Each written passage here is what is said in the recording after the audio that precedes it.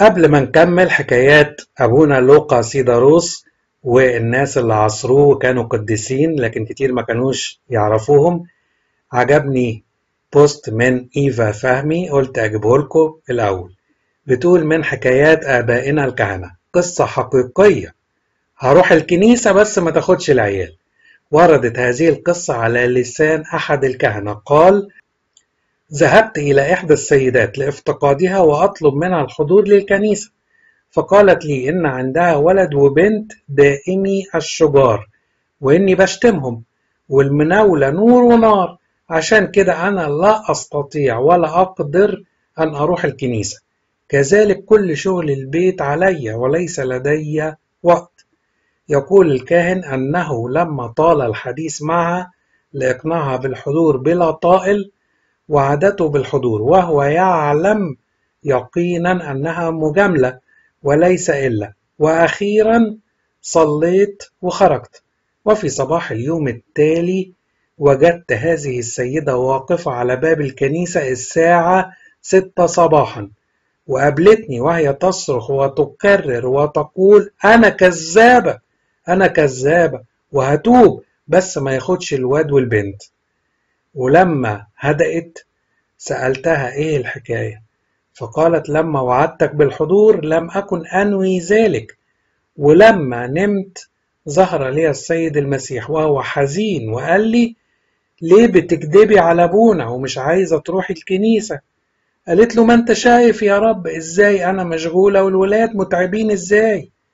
قال لها السيد المسيح إن كان الولاد معطلينك ممكن أخدهم منك الليلة. وإذا كان شغل البيت تقيل عليكي أنا ممكن اخليكي 30 سنة نايمة على السرير ما تعمليش حاجة وغيرك يعمل لك كل حاجة. روحي لأبونا واعترفي له. وتكمل السيدة قائلة أنا لقيت السيد المسيح له المجد يبكي ويقول هو أنا أعطيتكم الأولاد عشان تستخدموهم ضدي؟ أعطيتكم الصحة عشان تستخدموها ضدي. أعطيتكم الفلوس تقوموا تستخدموها ضدي. وهنا صمت ربنا يسوع المسيح وانهمرت الدموع من عينيه وقال كنت أريد أن تحضري لبيتي بدافع الحب وليس بدافع الخوف. واختفى. يا رب سامحنا على تقصيرنا وعلى خطايانا. أعطينا أن نفهم العطية ونشكر العاطي هب لنا أن نرضيك. منقول من صفحة الأستاذ كمال لوس. نكمل بقى قصص أبونا لوقا سيداروس. بيقول عائلة البرنشاوي عائلة عاشت في الفيوم في زمان القديس الأنبا إبراهيم. وفي الستينيات كان بعض منهم يسكن في منطقة كنيستنا بسبورتنج وكنت أزورهم وقد استمعت من كبار السن فيهم لأعاجيب عاشوها مع الأنبا إبراهيم. إذ كان لم يمضي على نياحته سوى بضع وخمسين عاما وكانوا هم وقت نياحته في الشباب المبكر. وقد طبعت صورة الحياة مع الأنبا إبرام ملامحها عليهم جميعا. بل قل أن ذلك الجيل كان يتحلى بالفضائل المسيحية والأصول والسلوكيات الحميدة. فكان الجيل كله محافظا وخوف الله كان من ملامح الجيل في عمومياته. أما الخصوصيات من جهة أولاد الله فقد زخر هذا الجيل بما لا يعد من الكثرة من الأبرار والأتقياء. وكان أحد أفراد هذه الأسرة الدكتور تدرس البرنشاوي في أواخر الخمسينيات من عمره. وكان أعمامه قد آثروه بما قصوا من جميع الوقائع التي عايشوها. وهي تشهد لصدق الحياة مع الله. وجمال النسك والطهارة وحياة الصلاة كما رأوها في الممارسة اليومية للقديس الذي عاصروه. ناهيك عن الاتضاع وحب الفقراء بل وحياة الفقراء التي عاشها بينهم ورأوها مجسمة حقيقية. وكانت زوجة الدكتور تدرس سيدة قديسة بالحق. هادئة وتحيا بمخافة الله. وكنت أشعر ببركة كبيرة وأنا أزور هذه الأسرة. إذ أرى فيها نموذجا لما ينبغي أن تكون عليه الأسرة المسيحية فالأمة التي تقتني هذه الفضائل قادرة بنعمة المسيح أن تربي أولادها كثمرة حية لبذرة الحياة المسيحية وزرع الله الذي لا يفنى. لم أسمع يوما عن هذه البارة أنها غضبت أو تعكر صفوها ففي ودعتها تمتص كل ملمات الحياة وتحولها إلى صلاة. الصلاة وسيلتها والصلاة حياتها. كانت عادة هذه البار أن تطلب أن أصلي لهم أنديل من فترة لأخرى ولا سيما إذا كان أحد أفراد الأسرة مريضا أو أنها كانت تمر بظروف من ظروف الحياة التي تأتي غير مواتية وكأنها الريح المضادة. وطلبت إلي أن أعمل لهم أنديل وأعطيتهم ميعاد في السابعة صباحا. كنت يومها أعمل أنديل في بيت آخر قبل هذا الميعاد. ولأمر خارج عن إرادتي طرقت بابهم متأخرا نصف ساعة. قابلوني كعادتهم بحبهم الذي اعتز به وأفرح أن أراه فيهم. وجلست أهيئ الشرية وفتاي للأنديل. وكنا نتحدث أثناء ذلك بكلام روحي. الجو كله يشع في النفس رائحة المسيح. لم أكن متعجلا. صلينا القنديل ورشمتهم بالزيت المقدس. لاحظت وأنا أرش المنزل بالماء أن الدكتور تدرس يبدو عليه بعض الارتباك. ينظر إلى ساعته يسرع في حركته ثم لمحت في الحجرة التي أرشها شنطة سفر عند الباب. أدركت لساعتها أنهم لابد مسافرون. سألت وأنا خالي الذهن خير هو أنتم مسافرين؟ وقبل أن يرد الرجل تدخلت السيدة الوديعة وقالت بنعمة المسيح يا أبونا هنسافر أختي مريضة بالقاهرة وسنذهب لنزورها لأنها ستعمل عملية. أرجوك اذكرها في القداسات قلت لهم وأنا لم أفهم بعد. يعني مسافرين اليوم؟ قالت السيدة إن أذن الرب لنا سنسافر الآن. قلت لهم أنتوا حاجزين في الديزل؟ قالت بابتسامة غاية في الوداع. نعم. قلت الساعة كام؟ قالت ديزل الساعة تمانية ونص. قلت يا خطيتي لقد أخرتكم وفاتكم القطر. قال الرجل طبعا فاتنا القطر ولكن ماذا نفعل؟ قال الرجل موجها كلاما لزوجته أنا قلت نأجل الأنديل قالت ما حصلش حاجة يا أخويا بنعمة المسيح نسافر. قال الرجل وقد بدا عليه الانزعاج. إزاي يعني؟ عندئذ فهمت ما كان يدور خلفي وأنا أصلي ولكن لم أدرك تمام الأمر. فقد حانت مني أثناء الصلاة التفاتة على همهمة سمعتها فلما التفت وجدت الرجل يشير إلى ساعته لزوجته ولكنها وضعت إصبعها على فمها تشير إليه ألا يتكلم بل يحتفظ بالسكوت ويكمل الصلاة.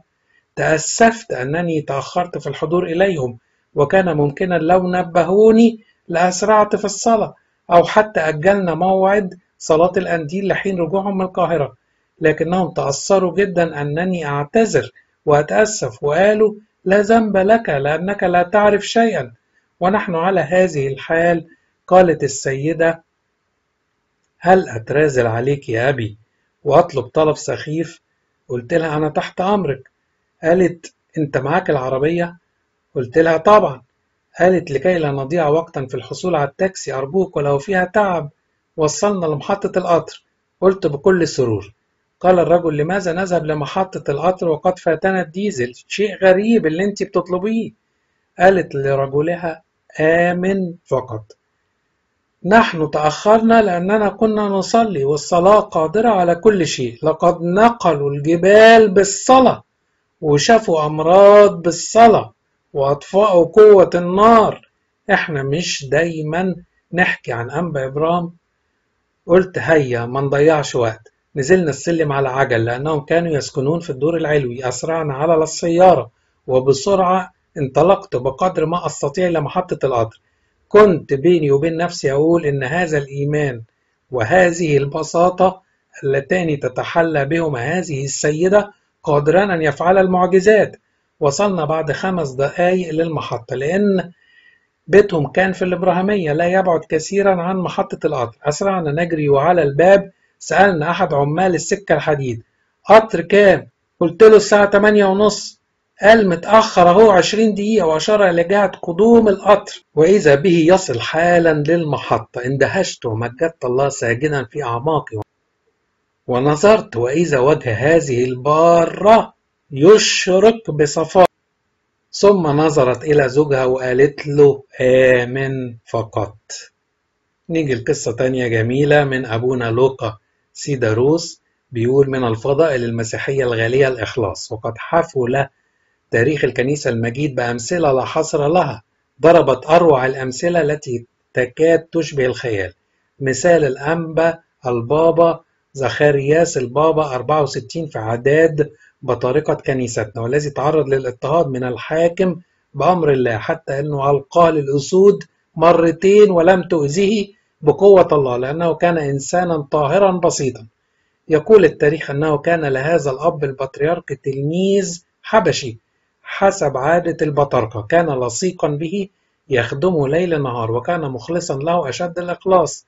فلما صار أمر الحاكم أن يلقي البابا للأسود تمسك هذا التلميذ المخلص بهد بثوب سيده. شيء عجيب لا يصدقه العقل ولكن لأجل هذا الإخلاص نجاه الرب من فم الأسود. فصارت الأسود التي استأنست للبابا تأتي وتلحس قدمي هذا التلميذ المخلص. قل إنه مثل إخلاص إليشع لسيده إيليا وهذا الإخلاص الروحي يرتقي بالتلميذ إلى أن يشارك معلمه في الخيرات والقامة الروحية التي ارتقى إليها فهي ليست خدمة العبد في المسيح وشركة الصلاة والصوم والتقديس وحمل الصليب. ومن الأمثلة الحية في التاريخ ذلك الأرخن المسيحي الحقيقي الذي كان يتولى منصب وزير فلما زاره الحاكم في داره ووجد في أحد أركان منزله سيدة مسنة مريضة ومتهالكة فلما سأل عنها الوزير القبطي قال له هي زوجتي يا سيدي. فما كان من الحاكم بعد أن انصرف أن أرسل هدية إلى الوزير. ثلاث فتيات حسان المنظر. وقال له لك أن تتزوج من تشاء. إذ كان الحاكم قد رثى لحال وزيره الأمين. ويقول التاريخ أن الوزير رد إلى الحاكم هديته شاكرا له وقائلا إن زوجتي يا سيدي في نظري هي أجمل نساء العالم كله. وأنني سعيد بها ولا أعرف غيرها. هو في الواقع إخلاص روحي عميق نابع من عمل الروح في سر الزيجة سر الارتباط الأبدي الجسد الواحد والروح الواحد. ليس إخلاصا اجتماعيا ولا إنسانيا ولكن قد برهن هذا الوزير المسيحي أن الأمر أن الأمر أعمق من الجسد وحاجات الجسد وزينة الجسد وشهوات الجسد التي كلها من تراب وإلى تراب. ولماذا نحصر الأمر في تاريخ ماضي؟ وكنيستنا حية وتاريخها ممتد غير مائت فقد رأيت بعيني عشرات الأمثلة من هذا الإخلاص الروحي. كنت أزور أحد أحبائي في اسكندرية وهو مدرس ناجح مشهود له بعلمه وإخلاصه وبذله. وقد أصيبت زوجته وهي في الأربعينيات بمرض الروماتويد فأقعد عن الحركة وشوه منظر أطرافها فانثنت يداها ورجلاها إذ قد تورمت مفاصل أصابعها. انثنت في أشكال مؤلمة للنفس. حينما كنت أزوره كان يجلس لجوارها في حنان بالغ يقبل يديها ويقول دي زوجتي العزيزة وبركتي في حياتي. وأنا غير أهل لها. كان جميع جيرانه وعارفيه أحبائه يرون كيف يخدمها بلا تأفف ويزيد في إكرامها وحبها. شيء مهول ظل سنوات هذا عددها يزداد من إخلاص إلى إخلاص وحينما اختارها الرب لينهي تعبها لم يصدق الناس مدى الحزن والدموع التي عاشها هذا الرجل المخلص. لقد برهن بحياته وسلوكه أن الارتباط المسيحي يرقى عن الجزدانيات بمقدار معالة السماوات عن الأرض.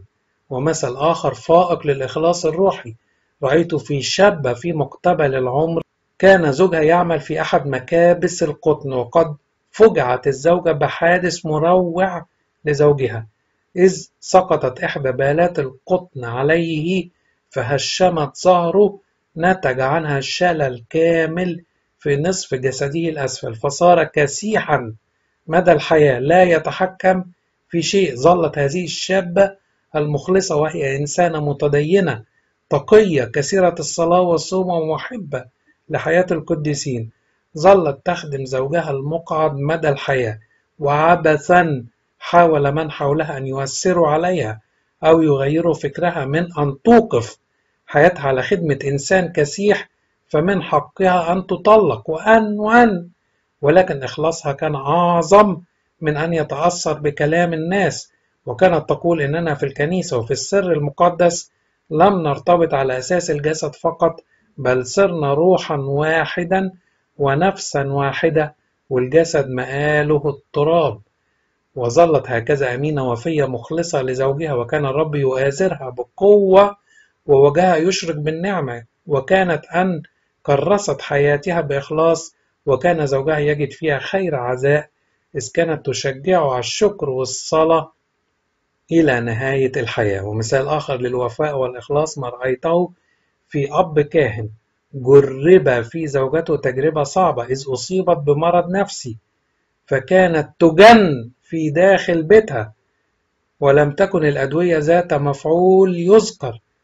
هذا الأب أغلق نوافذ بيته ودأب على خدمة زوجته بإخلاص منقطع النظير إذ كانت معظم وقتها غائبة عن وعيها فكان يخدمها كعبد وخادم ويقوم لها بكل حاجياتها في صبر وشكر وإخلاص على مدى 15 سنة ولم يعلم أحد من شعبه ولا محبيه مقدار ما بذل في الخفاء إذ كان رجلا يحتفظ بأسراره كمؤتمن من الله وكان يقول لي صدقني يا أبي أنا العبد البطال الذي لا أفعل ما أمرت به. ربنا أحبني واختارني لكي أخدم وأنا أشعر بتقصير شديد من نحو خدمتي لزوجتي. شيء مدهش حقا ولكن ليس كثيرا على روح الله الذي يعمل فينا أن نريد أن نعمل من أجل المسرة.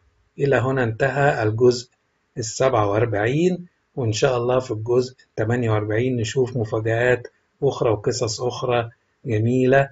إيه رأيكم؟ نكمل ولا زهقتوا؟ شاركونا في التعليقات.